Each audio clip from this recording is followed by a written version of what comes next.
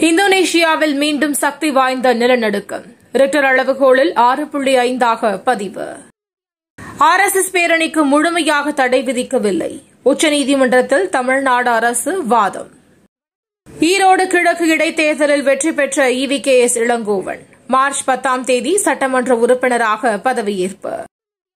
கடல் அரிப்பை தடுக்க பனைமரம் நடும் திட்டம். முதலமைச்சர் மு க ஸ்டாலின் அறிவிப்பு.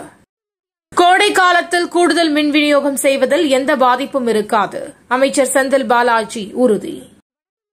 இரண்டாயிரத்து இருபத்தி நான்கு தேர்தலில் திருமாவளவன் டெபாசிட் வாங்குவதே கடினம். பாஜக மாநில தலைவர் அண்ணாமலை விமர்சனம். விரைவில் நல்ல தீர்வு ஏற்படும். ஈரோடு கிழக்கு இடைத்தேர்தல் பற்றி சசிகலா அறிக்கை. அதிமுகவின் தொடர் தோல்விக்கு இபிஎஸ் தான் காரணம். டிடிவி தினகரன் பரபரப்பு பேட்டி. தமிழ்நாடு அமைதி பூங்காவாக திகழ்கிறது. டிஜிபி சைலேந்திர பாபு உறுதி. அதிமுக பொதுக்குழு தீர்மானங்களுக்கு தடை விதிக்க சென்னை உயர்நீதிமன்றம் மறுப்பு. மார்ச் பதினேழாம் தேதிக்கு வழக்கு ஒத்திவைப்பு.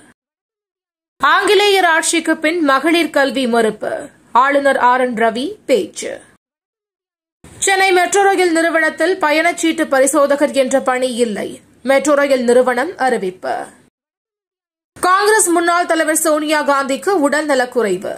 டெல்லியில் உள்ள தனியார் மருத்துவமனையில் அனுமதி. இரண்டாயிரத்து இருபத்தி நான்கு மக்களவைத் தேர்தலில் திரிணாமுல் காங்கிரஸ் தனித்து போட்டியிடும். மேற்கு வங்க முதல்வர் மம்தா பானர்ஜி அறிவிப்பு.